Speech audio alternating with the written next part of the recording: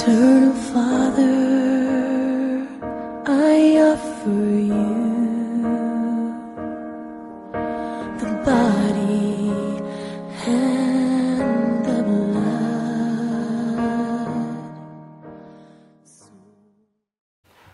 I first of all take this golden opportunity to talk to you. It's a privilege that God has given me to share His word with you. I want you to be attentive. I want you to be observing what I'm talking about, and I want you to take it right the way it is. For it is a help in your life, for now and for the future. I want to read from the book of Hebrews, uh, chapter 10. Ch- chapter 10. I'll be skipping, but I start from chapter 10, verses 4. For it is not possible that the blood of bulls and of goats should take away sins. Therefore, when he came into the world, he said, Sacrifice and offering thou wouldest not, but a body has, thou prepared me. I go to 10, verses 10. But by the which will we all sanctified through the offering of the body of Jesus Christ once for all. And every priest standeth daily ministering and offering oftentimes the same sacrifices, which can never take away sins. But this man, after he had offered, that is 12, but this man, after he had offered one sacrifice for sin forever, sat down on the right hand of God, from henceforth expecting till his enemies be made his tool, his footstools. For by one sacrifice he has pre- perfected forever them that are sanctified. I thank God for his a just God, is a good God. As I told you before in other sermons, that when God created man and put him in the Garden of Eden, he had a plan for man. He had a purpose. Man was to live forever. Man was stainless. Man had no any sin. He was holy. And that's why when he was to be created, God himself reasoned out and said that let us create man in our own image. The image of God is holiness. So the first man that was created was holy. He was privileged to have everything around him. He could eat whatever he wanted. Could walk. He could, you know, he was a friend to every so-called wild animals. He could sit near a lion. He had all the dominion over all the creations. After the man had sinned for eating the forbidden fruit that God Himself told him not to eat, he was fallen short of the glory and the grace of God. He become he becomes a man without power and authority, a man without dominion over every creation. I say all creation.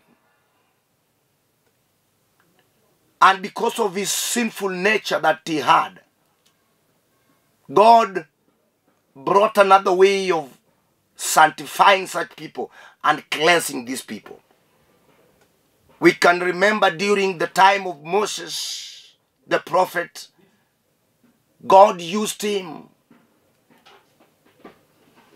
in many ways, slaughtering goats, bulls, and all those, because they believed that by shedding the blood of all these animals, those who were sinful were to be cleansed, sanctified, and justified.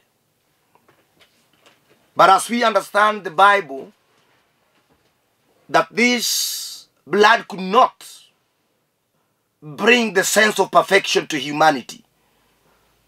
It had its own limitations.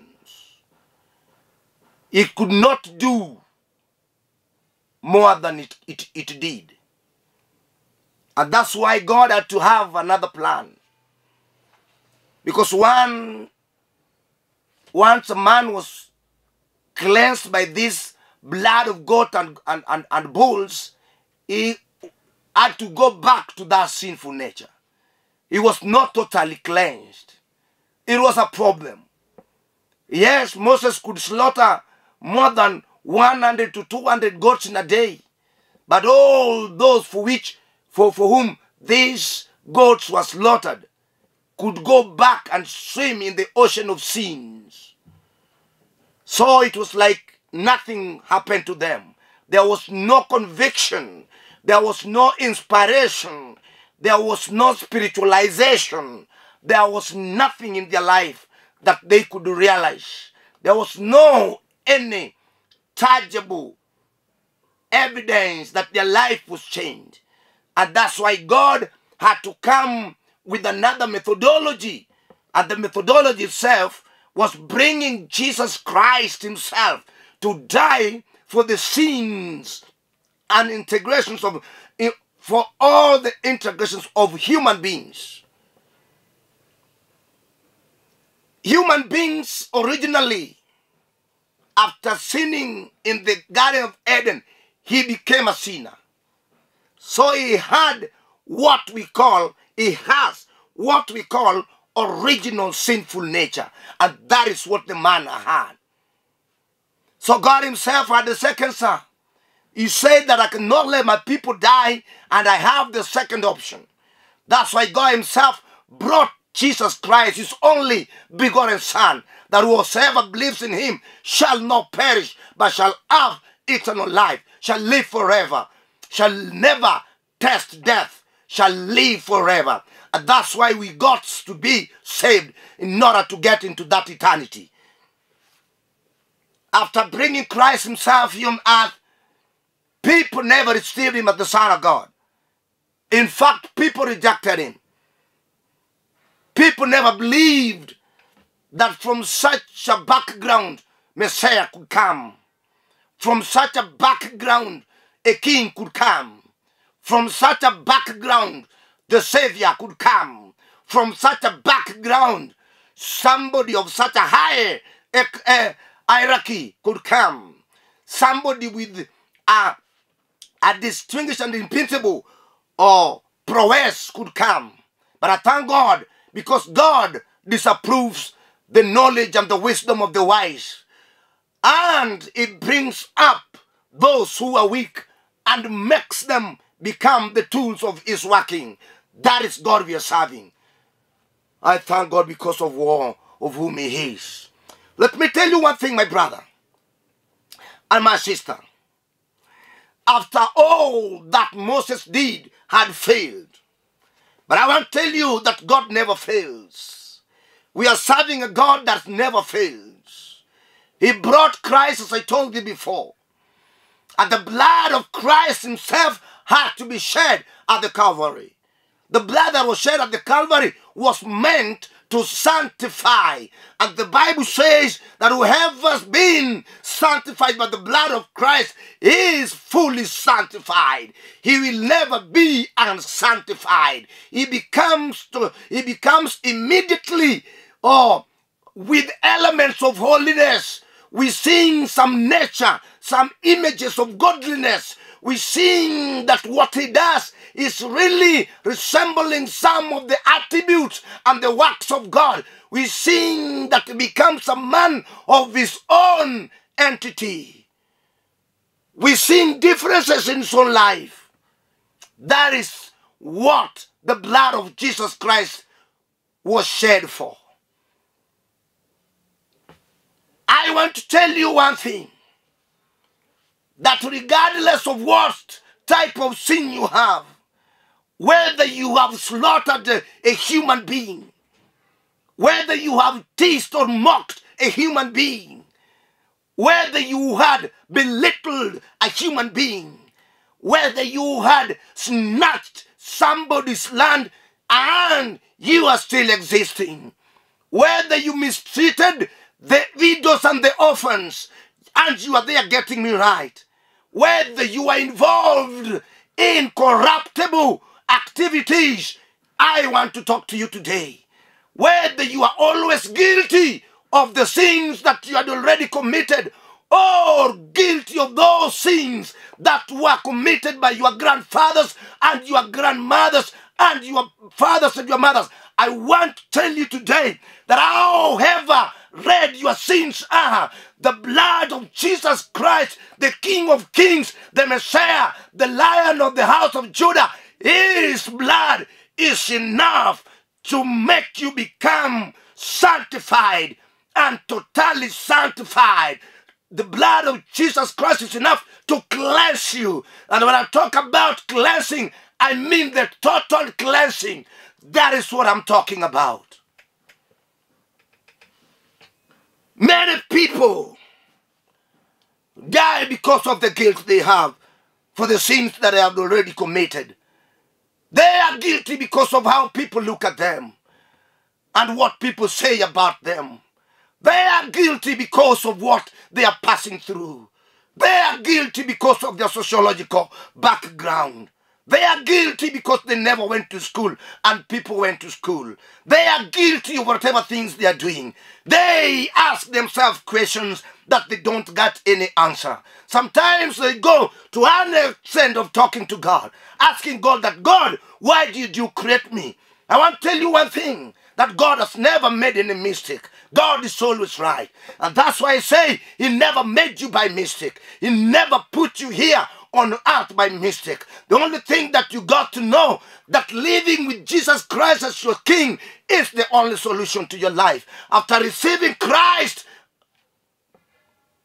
all that you sing will be a gone case, and the new things shall come on your way, and you will be a new creation. Oh, the new assurance will get into your own way, and the old assurance will have to leave you. The old things that had already embroidered me, embroidered you, will go away. But the all the things that God already promised about your life will come on your way. And that's why I say that the blood of Christ is there to wash you and you become clean and clean. That's why the Bible says that however red your sins are, the blood of Christ is able to make them become as white as snow. And that's why we talk about the blood of Christ. The blood of Christ is able to do all this. Unless you give yourself to God. Unless you say, No, God, I'm getting what you're talking about. Today, I have to submit myself to you. I got to give myself fully to you because I've already got it right that all the sins that I've already committed can be forgiven, can be washed away by the blood. Yes, by the shed blood of Jesus Christ, the Calvary. Talking about the blood of Jesus at the Calvary. Whether you are cast, doesn't matter who cast you. Whether somebody talked ill of yourself and you felt like, no, why can't I commit suicide? That one cannot help you. Whether you got the spirit of rejection, everybody doesn't want you. That is not your problem. Let the problem be God's problem. God will like you. And that's why I say when God loves you and people don't love you, don't bother about them. Bother about God. Do the will of God. Walk on the path of God. And God Himself will make everything turn around. Those who hated you will love you. Those who have been teasing you will love you. Everybody will be attracted to you. I know. I got sister in Kisumu who said, who told me that everybody never wanted her. Even the parents, the biological parents, never wanted her. The our siblings never wanted her. Everybody never wanted her. Even a place of work, the boss and those workmates never wanted her. And I told her that is not the, never think about that. That should not bother you because we love. We got somebody who loves you. We got, we got Jesus Christ who loves everybody. Receive him. Get him into your own system. Put Jesus in your heart. and everything shall turn around. And immediately after accepting Christ, he told me later, after two months, that those people who never wanted to talk to her started calling her, saying, Where are you? Everybody was bothered. Even the parents were bothered, saying, Where are you? It's long since we talked. And she was very happy. I want to tell you one thing that Jesus is all in all. Whether it is financial problems, I know that people are now having financial constraints. I know people are now having social ties that do not make them rise up but put them down. I know that people do not get what they expected. I know people never speak the language that they had dreamt of. I know people are doing things that they never thought of. But that is not the problem to God. God has got the power to bless you wherever you are. Whether you are doing what you never learned in school, God has got the power to uplift you from there. Whether you are in engineering profession,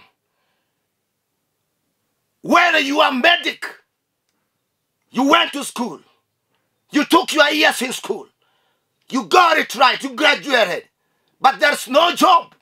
You work day, you work night. You ask questions, no answer. People say that you're cast. No. I want you today just to believe in Christ and let the purpose of the shed blood be a meaning in your life. You shall see things turning out. People shall call you. All the interviews that you have already done shall be reviewed and you'll be called to work. You'll be a senior officer. Never think of things that do not add value to the life of, you, of, of, of yourself and to the life of God. I'm talking about the shed blood. Without the shed blood, there was no salvation. Without the shed of blood, there was no salvage. There was no redemption and deliverance. And that's why when the people of Israel were about to leave Egypt for Israel, where they are for Canaan, Moses was spoken to by God and was told that Moses, go and take a ram, slaughter the ram, and the blood of the ram smear it, and everybody swore, everybody swore. And Moses did the same. But I tell you one thing. Do you know why the blood was shed? In order to deliver them, in order to put them away from the problems that encountered. The blood has got the power to take you from one glory to another. Because of that shed blood that was done in Egypt, the people of Israel were released for the bondages that they were indulging. Because of the blood of the ram, the people of Israel were taken away from the land of bondage and from the land of suffering and from land of belittling. They were taken to Canaan. That's because of the smeared blood. Yes, if you believe in Jesus Christ and say to yourself that I know that somebody died because of myself, somebody was crucified because of myself, somebody was butchered at the Calvary because of myself, somebody's blood was shed at the Calvary because of myself. Why can't I make a step of faith and receive him officially as my King and my Savior? I believe that the blood of Jesus Christ gonna wash me, gonna wash me. All the tranquilities, all the problems, all the things, all things that I go through, all the problems that I counter in my life. Oh, yes, the blood shall wash them all, and I shall be as clean as snow. But I won't tell you, not as snow, more than snow. That is what I can add. And then the body that has been washed by the blood of Jesus Christ is no longer called a sinner. He is saved. Yes, he is a saint. He is a child of God. He's got the power to inherit all that are meant for him. Got the title to be called the son of the king. He is a prince to the priesthood. He is a priest to the priesthood.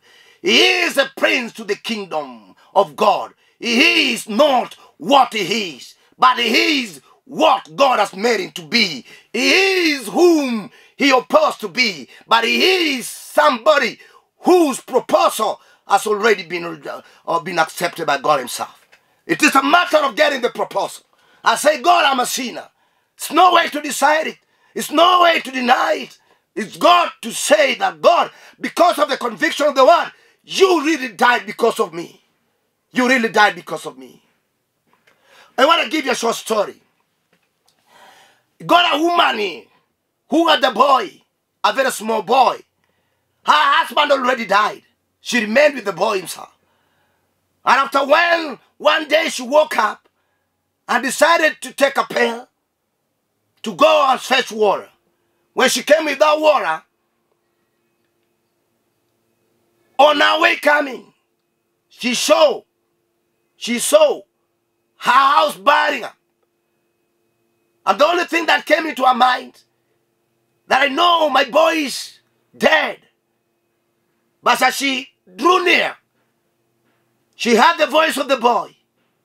And people were there. Some were trying to put off the fire, but they could not. But you know what she did? She decided to go into the fire and rescue the, the, the boy. She went into the fire and she rescued the boy. She came out with the boy, life and kicking. But her own face, the face of the mother, was totally distorted. Yes. So one day, after the boy was already man, not a man, he had, he had already started going to school, one day parents were going for visitation. And you know, his fellow students started laughing at him, saying that, look at your mom. Your mom face is so bad, so ugly. Amen. The boy went to her mom and told her mom, My mom, why are you always coming here to visit me? Stay at home because my fellow students are laughing at me. And then her mom called him, put him down, started telling him that one day when I went to fetch water and coming back, I found our house burning. And nobody was ready to get into the house, the burning house, and rescue me. But because of the love I had for you, I went in. I got the baby. I got the boy. I got you. I came out with you. And you were well. Well. But me, I was deformed the way you are seeing me. The boy started crying, saying, Mom, sorry. I never knew that you died. For, I never mean. I never knew that that was the cause of your deformation.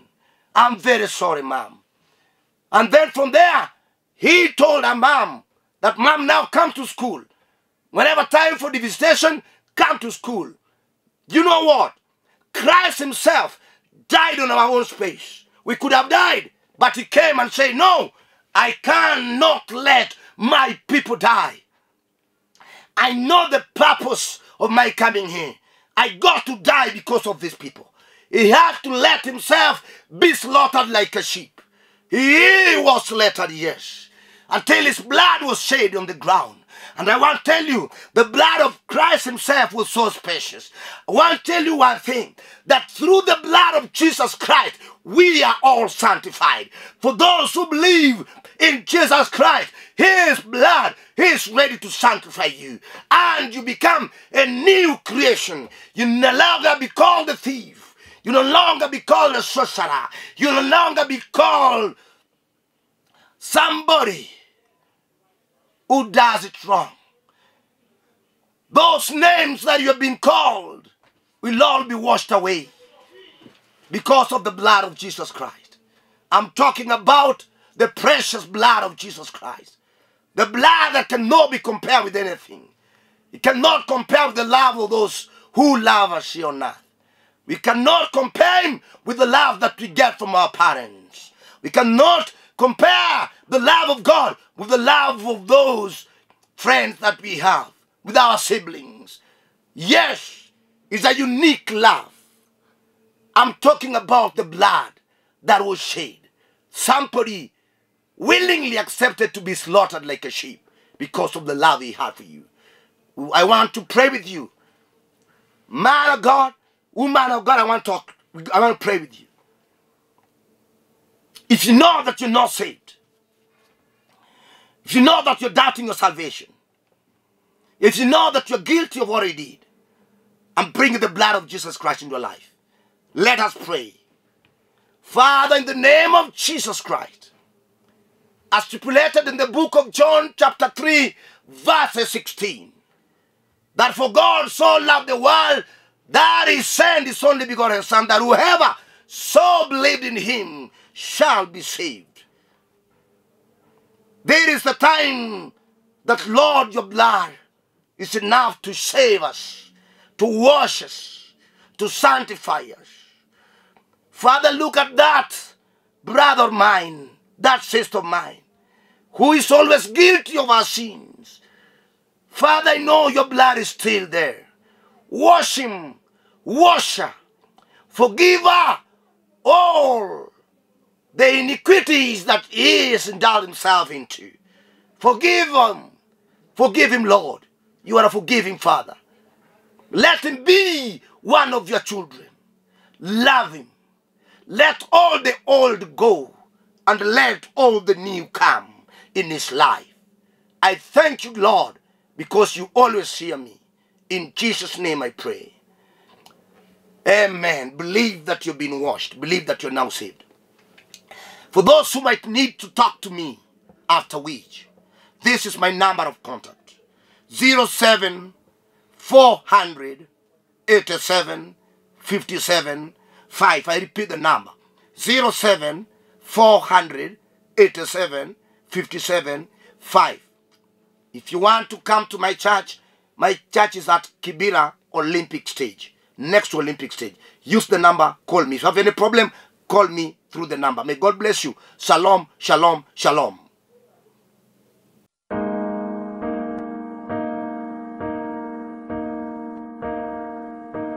Eternal Father, I offer you